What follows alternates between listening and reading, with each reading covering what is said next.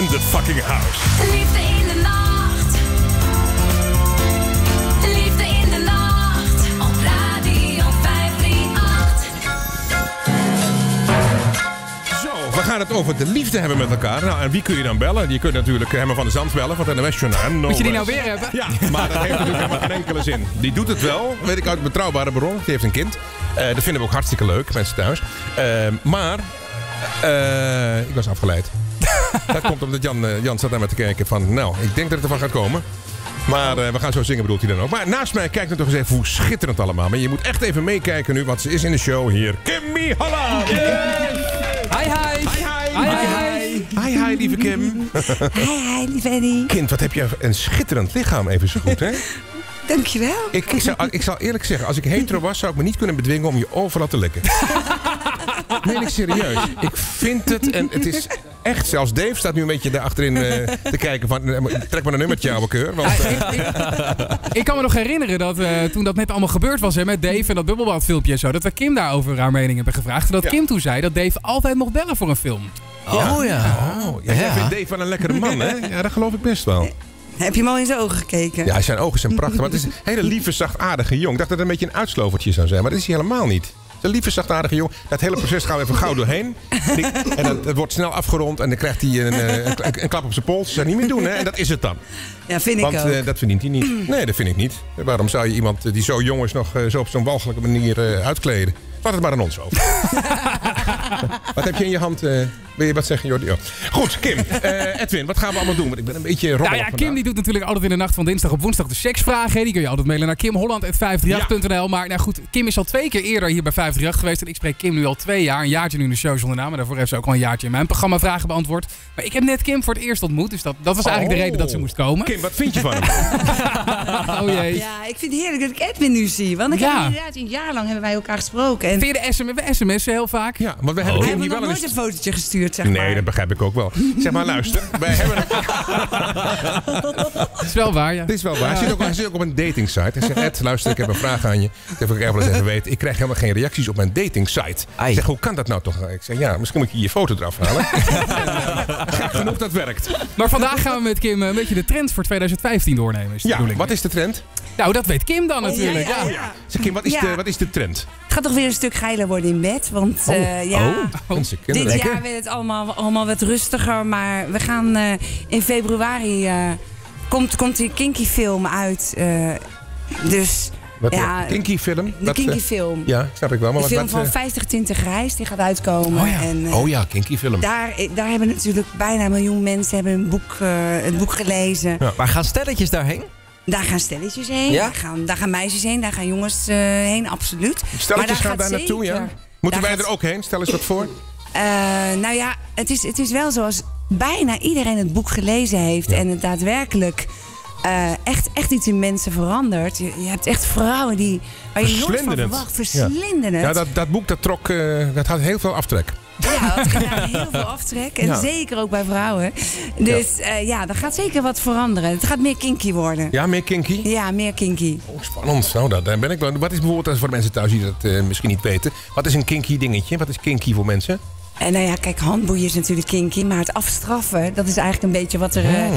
wat er in, dat, eh, ja, in die film heel erg naar voren komt. Ja, ja, maar ook wel, eh, ja, iemand heel erg verwennen. En dan uiteindelijk iets uiterst van een ander vragen. Ja. En dat soort spelletjes zullen er veel meer gespeeld worden. Leuk hoor. Hè? Oh. Oké. Ja, maar, jij speelt er ook heel vaak spelletjes toch, Kim? Ik Dat- hou heel erg van spelletjes. Gaat er voor jou dan wel wat veranderen in Ja, want jij 2015? weet eigenlijk alles al, zou je denken. Eh, nee, nee, nee, nee, absoluut niet. Ik vind alles nog steeds heel erg leuk. Ja? Ja, ach, Is- ik, vind het- zo, ik vind het wel heerlijk om allerlei pakjes te kopen en Ja. spelletjes. En Ja, vooral in deze tijd is dat heel verhaaltjes verzinnen. En toepasselijk ook vandaag. Dat zeg ik. Is er één speciaal spelletje dat eruit springt? Je zegt, nou, weinig mensen weten dat van mij. Maar er is één spelletje, als ik dat vertel, oh, dan gaan mensen stijgen hoor. Nou, wat ik, wat ik heel erg leuk vind, dat is Nou. inderdaad gewoon om, te, om eh, nou ja, sowieso al eh, eh, met seks te sms'en, weet je wel. Ja. Dus, dus, dus al, al, al lekker een geile taal. Eh, en, en daarna dan toch wel een beetje te zorgen dat je zelf een half uurtje de baas mag zijn, maar dat de ander het ook een half uurtje mag zijn. Oké. En daardoor krijg je natuurlijk een heel ander soort rollenspel als Ja. gemiddeld. En wie is er bij jou thuis de baas, Kim? Want je hebt je man meegenomen, zeg ik. hè? ja, ja, ja. Nou, ik ben Zekerheid. niet de baas hoor, absoluut niet. Nee? nee?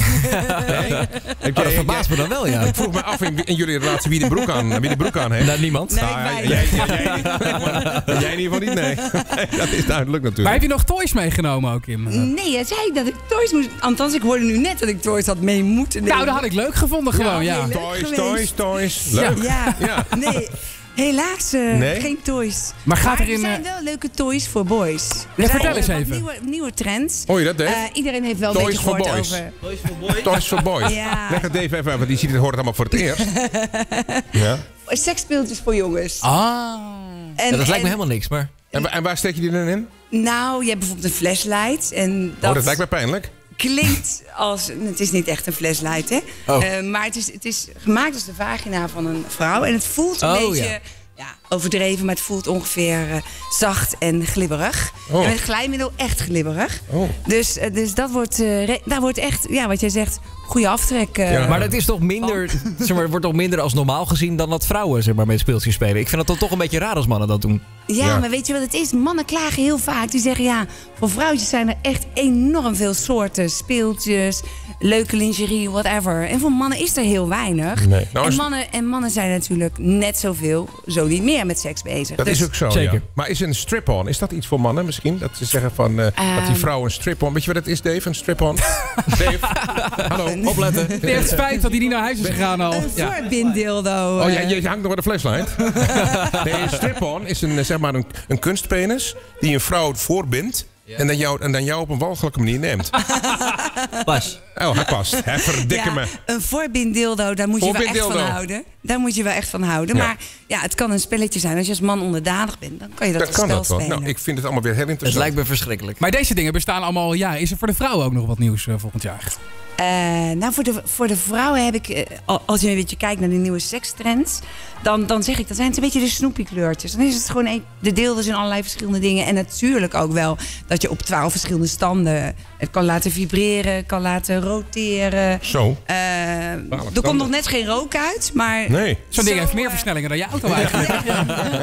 Mag ik eens vragen, wat is er eigenlijk van de vrouwencondoom terechtgekomen? Zeg maar die vuilniszak die je naar binnen moet proppen. Ja, nou ja, Was je geen zegt succes, het al. hè? Het is een vuilniszak die je naar binnen Ja. propt. En dat is inderdaad geen succes. Ze zijn Nee. wel met een ander iets bezig. Oh. Waardoor het waarschijnlijk wat, wat, wat gladder en smoeter wordt. Maar Maar kunnen Ja, ze niet een eh, soort van, ik bedacht zoiets van, kunnen ze niet een setpil bedenken of zo? Die je dan van tevoren, voor een kwartiertje voor de seks inbrengt.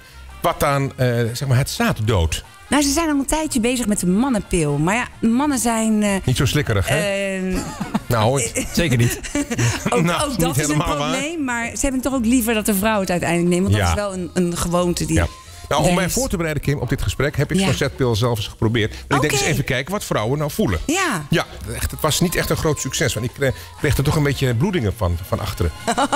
Dus Nou. het was vrij pijnlijk. Want ik- wat ik niet begrepen had, dat je namelijk eerst het zilverpapier eraf moet halen. dat was een hele pijnlijke ervaring. Hou op, hou op, hou op. Maar goed, dat was eh, Kim weer voor vandaag. Met alle leuke... Ik vind het heerlijk om je... Blijf je nog even plakken? Ja, tuurlijk. Blijf heerlijk bij je. Goed zo.